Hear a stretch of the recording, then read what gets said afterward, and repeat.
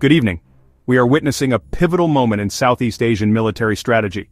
It is happening right now, across the archipelago of the Philippines.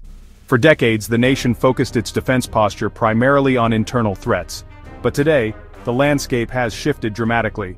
The Armed Forces of the Philippines, or AFP, are undergoing a profound transformation. This change is not just about new ships or aircraft, it is about acquiring a specific lethal capability, the power to stop an armored invasion in its tracks. This is the story of the Philippines' growing arsenal of anti-tank guided missiles, or ATGMs, weapons designed to ensure any hostile land force faces a formidable and deadly welcome. Tonight, we will peel back the layers of this strategic evolution. We will take a deep and factual look at the systems redefining Philippine defense.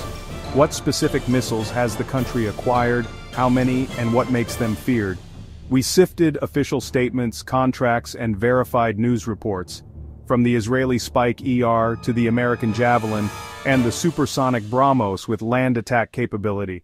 This is more than inventory. It is a deliberate, methodical deterrent, a move to ensure sovereignty in a contested region. Our report is built on verified information, not speculation. We examined DND statements, PNA reports, contract records, and international coverage. This is the picture of what the Philippines will possess by 2025. Now, let's examine each key system and its impact. The first key component in this new arsenal is the Spike ER missile system, a product of Rafael Advanced Defense Systems, selected to modernize naval and coastal defense assets. The Spike ER was chosen to arm the Navy's MPAC Mark III fast boats, turning these fast craft into potent tank and ship killers. Integration included launchers, training, and technical support from Rafael. The contract was finalized in 2017, with deliveries in batches thereafter. Reports by PNA and DND document deliveries and live fire tests. Initial deal reported at about 5.4 billion PHP, roughly $108 million at the time. The Spike ER, or extended range, reaches up to 8 kilometers, Ideal for standoff engagements from small boats or ground vehicles, it uses electro-optical seekers plus fiber-optic man-in-the-loop guidance. Operators can see the missile's feed and guide it, even retarget mid-flight. Equipped with a tandem heat warhead to defeat explosive reactive armor, Precursor neutralizes ERA, main charge penetrates the hull. On impact, Spike ER creates a mobile, deadly coastal defense screen, capable of thwarting amphibious landings before a beachhead is established. This precision and control changed the calculus for coastal operations. With training and maintenance packages, operational readiness is sustained. Live fire tests in 2018 confirmed the system's integration and lethality. Next, the U.S. FGM-148 Javelin, the infantry's fire and forget Titan. Another pillar is the formidable FGM-148 Javelin, developed by a U.S. defense industry partnership. The acquisition was pursued via U.S. foreign military sales with DSCA notification in 2019. Estimated value, $42.1 million, included 12 command launch units and 240 missiles. Also training simulators, tech assistance, and logistical support. Primary advantage, fire and forget infrared guidance. The operator locks with the CLU then moves to cover, the missile guides itself. Its top attack profile strikes tanks at their weakest point. Effective range, over 2.5 kilometers, enables high survivability for anti-tank teams. Tandem heat defeats advanced reactive armor. First batch arrived in 2024, a milestone for AFP modernization. U.S. training teams and live fire exercises built operator proficiency. The Javelin is a quantum leap in lethality for ground forces. Gives small teams the power to stop a multi-million dollar tank fundamentally alters land-based defensive equations, bolsters the confidence of the Filipino soldier. Up next, BrahMos, a strategic system with supersonic reach. While not a traditional ATGM, the BrahMos supersonic cruise missile is a strategic game-changer, developed by an India-Russia joint venture led by BrahMos Aerospace.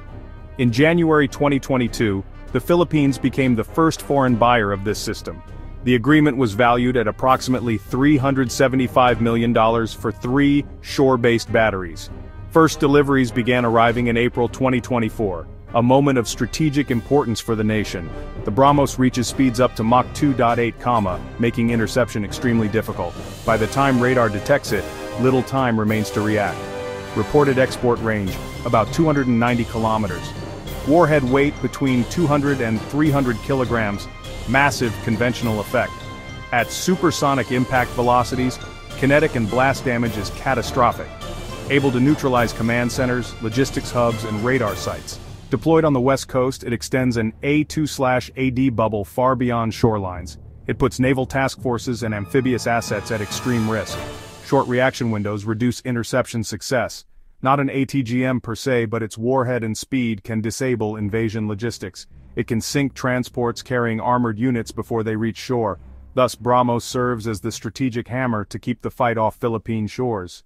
When placed side by side these systems form a layered defense. Javelin, the infantry's close-range fire-and-forget sword. Top attack to hit vulnerable tank roofs. Spike ER, medium-range, fiber-optic guided man-in-the-loop precision out to 8 kilometers. Operator confirmation reduces collateral risk and allows retargeting.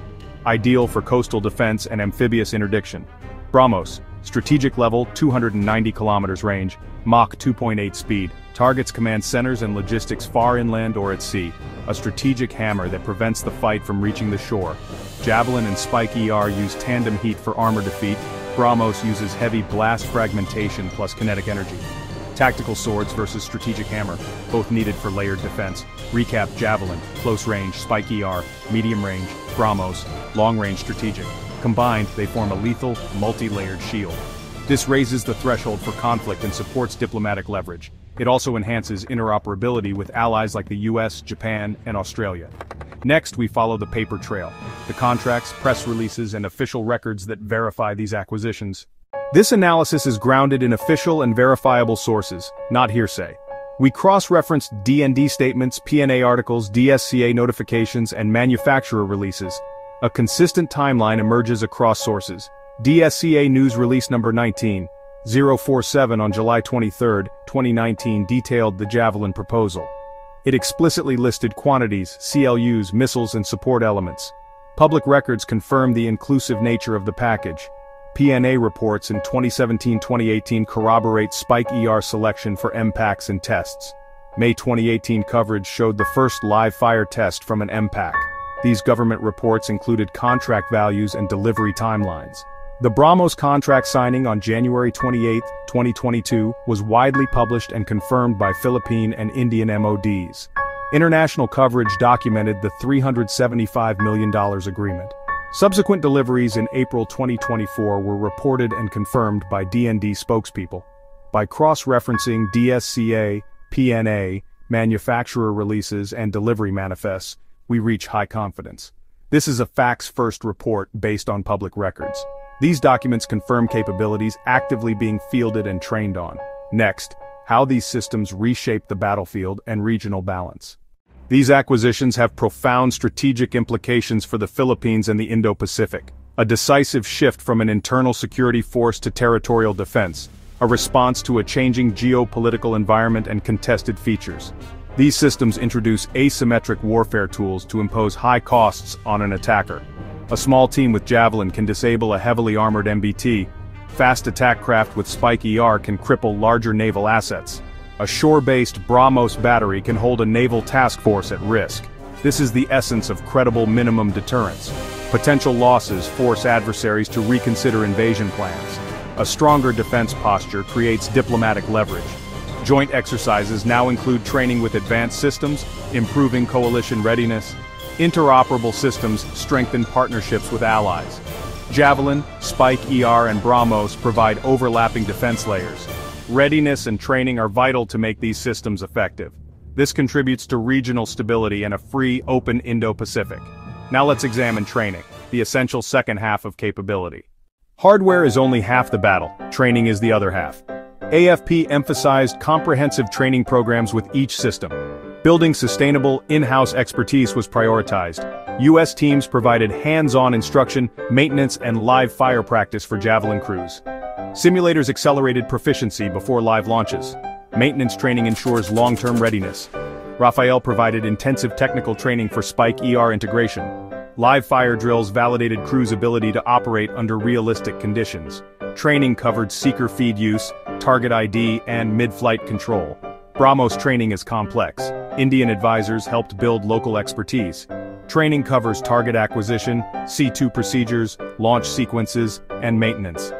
New regiments and coastal defense units signaled long-term commitment. Train the Trainer programs create a sustainable pipeline within the AFP. Certification and live fire validation ensure operational credibility. This transforms equipment into effective capability. Finally, what does this mean for the Philippines going forward? As we stand here on August 27, 2025, the picture is clear. The Philippines has woven a formidable tapestry of defensive firepower. Infantry Javelin, Naval Spike ER, and Strategic BrahMos together form a layered shield. This is a strategic pivot toward credible deterrence and territorial defense. It arms the soldier and sailor with tools to face superior adversaries and prevail. Precision, training, and tactical acumen are force multipliers. A stronger defense encourages peaceful diplomatic resolutions. The ultimate goal is to prevent war. Deterrence that preserves peace. Modernization is ongoing, a long-term journey of adaptation. We've presented the facts, now we want your perspective. How do you see these systems impacting the regional balance? Drop your analysis in the comments below. If this breakdown gave you clarity, tap like to help others find it and subscribe to stay ahead of defense developments. Share this video with a friend who follows regional security. Your voice sharpens the conversation. Thanks for joining us. Stay informed, stay engaged, and help shape the first draft of tomorrow's security conversation thank you.